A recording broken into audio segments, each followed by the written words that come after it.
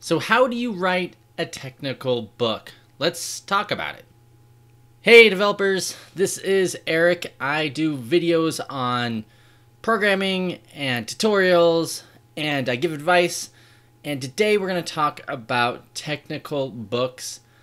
If you don't know, I actually have been writing a book on Vue.js, and I have been getting a lot of different questions on it. So I thought I'd go ahead and answer a few of them here and talk to you a little bit about how you create a technical book. So first off, there's a couple ways to create technical books. You can certainly create a self-published book where you go in and you create everything yourself, or you can go with a traditional publisher. Now, in my instance, you can see right here from my book, this is a traditionally published book. It's called Vue.js in Action, and I'm having it published by Manning.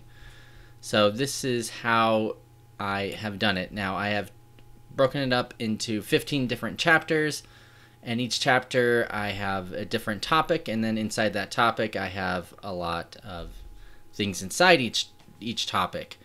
And I have an overall theme. I'm actually creating a program a Vue.js app. I'm adding to it on, in every chapter. Although we'll see somewhere in the middle we might change the app itself. So that is kind of a little bit about how I did it. So I get a couple questions people have asked me on this topic. Um, so what's it like writing a book? And so a, definitely a technical book is one of the more difficult books to write. I mean, nothing against write, uh, fiction writers or people writing um, different types of books like that. But it's it's a lot of writing code, taking that code and making it in a very readable format so people can understand it. It's about putting in examples. It's using real world examples. It's trying to make the abstract concrete. So the writing process that I have is a lot of of revisions and edits and just writing what I can, putting it out there, and then seeing what worked, what didn't work. And one nice thing about Manning is they have this early access program. So every book that I write, every chapter I write, I get to be able to put it up online. People can read it. I'm going to try to, about once a month, put new updates for each chapters. And that way I can get immediate feedback. So if I make a mistake or there's a problem, I'm always going to have that um, feedback loop to make the book even better. So that's really, really cool. So I'm not going to get into any of the technical details on like what software I use or or how to create a technical book. This is just kind of a couple of basic ideas of what a technical book's about and how I'm going at it. So, how long does it take to write a book? So that is a question that I've gotten a few times. It's a lot of work. Uh, I do have another author, Benjamin Listwon, but he has uh, just started the book off. I'm actually writing all the other chapters. He's written a, a couple of chapters. So the book is going to take from now uh, till the end of December just to get the first draft out. And that's if everything goes perfectly great, perfectly fine. I have four chapters done. The book is going to be updated monthly on Manning's website. But if all goes well by the end of this year, I'll have all the chapters written. And then we're going to go through a process where we're going to do some more final edits and changes. So, I mean, we're really talking about a couple months into 2018 before the book will be out. And that's if everything goes perfectly fine and great. Now, if I get behind a chapter or there's a problem, then it might take even longer. So, how many chapters are available? I have, that's another question I've gotten. There's three chapters available right now. There's actually a fourth chapter that I have done that hopefully it'll be up soon on the MEAP. And we'll have any other fixes.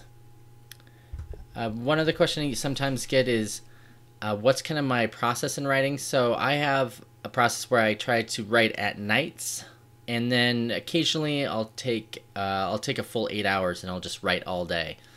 So that's kind of my process. Now, creating a book is a tremendous amount of work. Uh, it's uh, I guess any type of book that you really write, it's going to be a tremendous amount of work, and it doesn't, uh, you know, it's not going to make me rich either. So this is kind of more of a labor of love. Uh, I do it because I love Vue.js. I'm trying to learn more and more and more about it, become an expert. I'm trying to get my name out there, and uh, so it's going to take hundreds of hours to write, literally, and it's something that that I, I like the challenge. So my first book, the Ember.js Cookbook was kind of like that. It took a ton of time to write, and I just put myself out there. Uh, I just worked on it every day, and then I put put myself out there when I released it, and it, it went really well. And I'm hoping the same thing happens with this Vue.js in action.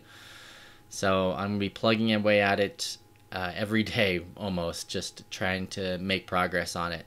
And there'll be some days that will go well, and some days that won't go well. So that is a little bit about my technical writing.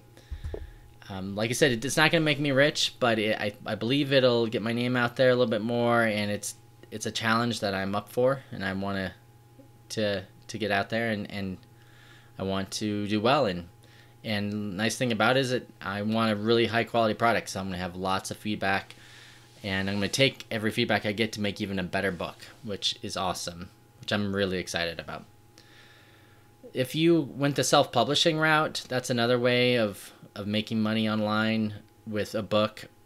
It's you're going to have to really work hard to get the the, the the type of quality you can get with a published book. Because you don't have a publisher, you're gonna have to maybe hire somebody, or just be really good at at uh, working hard on your book.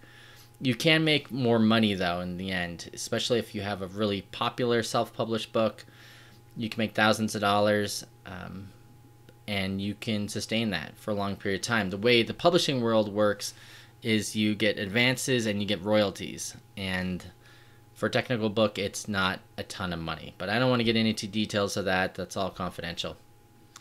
If you like these types of videos, uh, let me know below. And also, if you can, check out the book. Uh, I have a mailing list I'll put in the description I'm gonna people update people as I get farther along, and also I'm to give people up uh, discount codes for my book so you can get it even cheaper.